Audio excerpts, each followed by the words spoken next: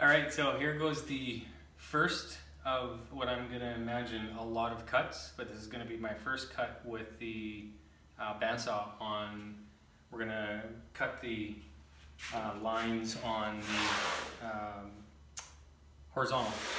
Horizontal skin, we're starting with the top skins, so here goes. We're gonna fire this up, it's gonna be a little noisy.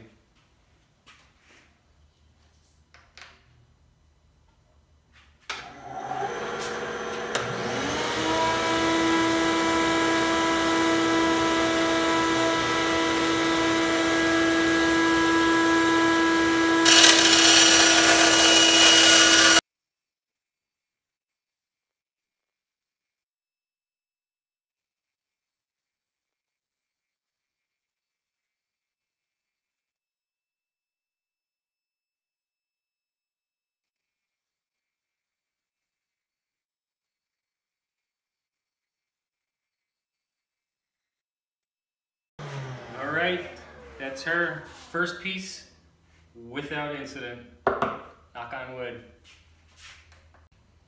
Okay, welcome back.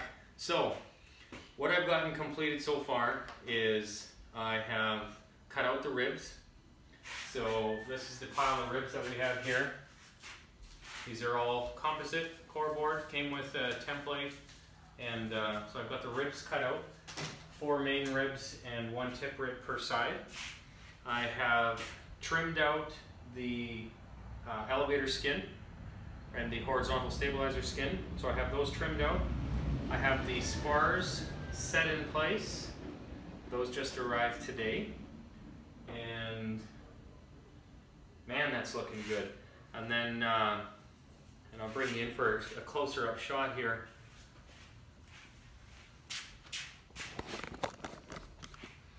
So the template for the ribs actually turned into a jig for the uh, stabilizer to be built on.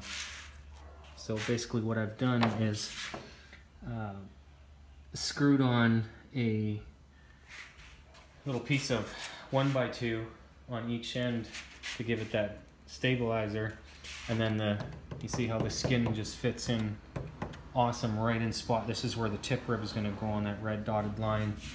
And then same thing here this is where the rib is going to go on the inside and the skin sits beautifully in there. So done on both sides this is the rear this is the elevator.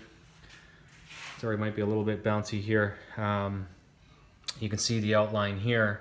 So this is kind of unique or something I haven't seen before, but then again, I haven't built another kit plane, but in plans that I've looked at, uh, the elevator is built onto the stabilizer to begin with. So everything's going to be done. We're going to close it up. And then on this black line, we're actually going to cut out the elevator once the horizontal stabilizer is complete.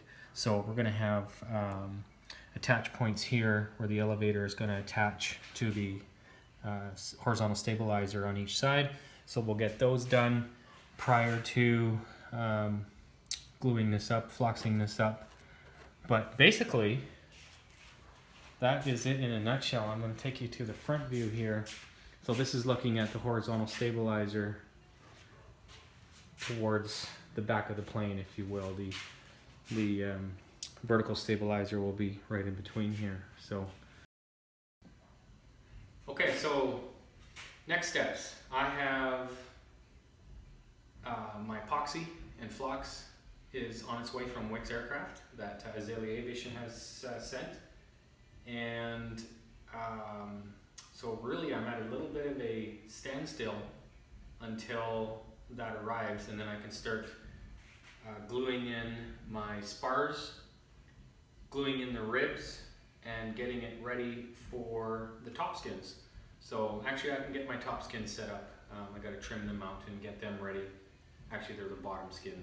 These are the top, these will be the top of the uh, elevator and horizontal stabilizer. So um, that's it. Any questions, comment below, subscribe, and we'll have another video up for you